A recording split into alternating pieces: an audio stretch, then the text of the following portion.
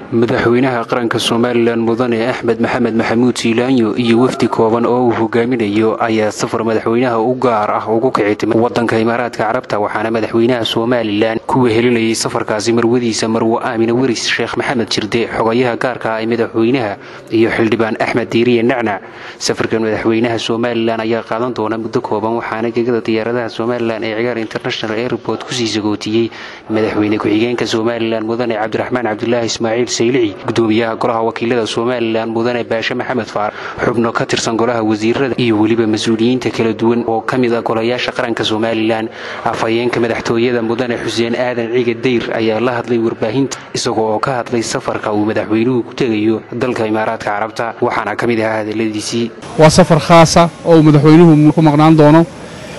Dabcan madaxweynuhu muddada uu xaggaa ku maqan yahay wixii howlaha qaranka ee la soo gudboonaada ee ay ku jiraan danaha iyo maslaxadaha ummadda jamhuuriyadda somalilan wuu ka howlgeli doonaa. Waanaynu u ducaynaa madaxweynaha inuu ilaahay nabadgeeyo oo nabadna inoogu soo noqo inoogu soo noqdo.